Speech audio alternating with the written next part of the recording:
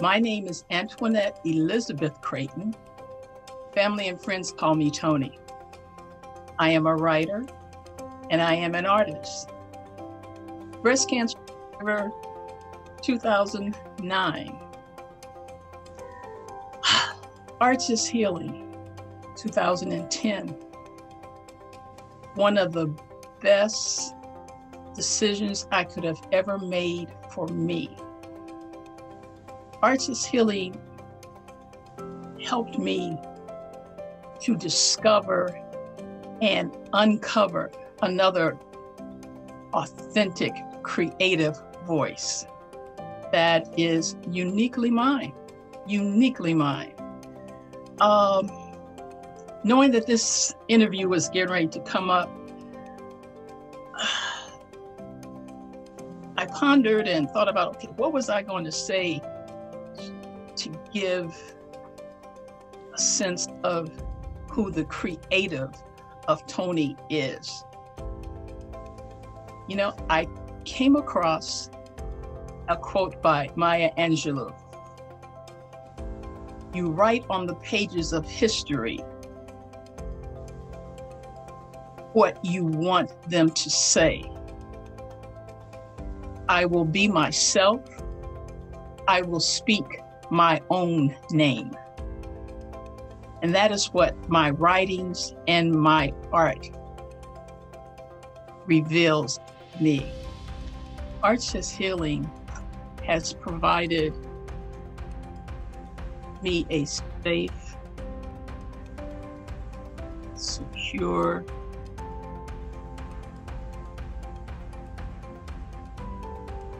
non judgmental place and space so that my creative voice can explore.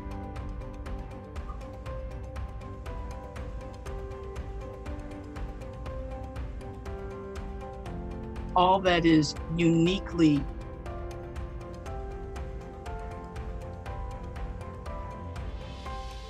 me that has been divinely given to me.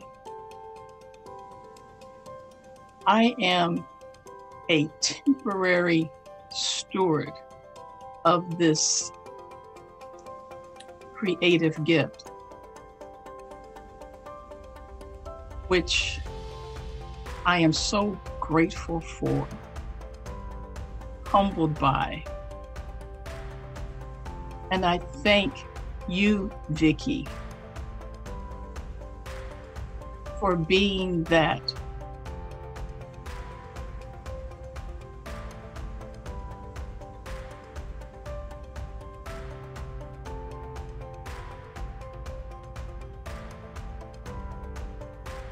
Being that friend, that mentor, that fiercely rejects the word cannot. Cannot does not exist in your vocabulary. As you you the creativity of all of these artists. And with these times that we are now having to go through. And we have to go through them to get to a better side of all of this. My hope is that you will open your soul to the art newness of hope, strength, transformation, legacy leaving that each one of these artists that you experience today. That is my hope. So, as in back in the old days. Peace out.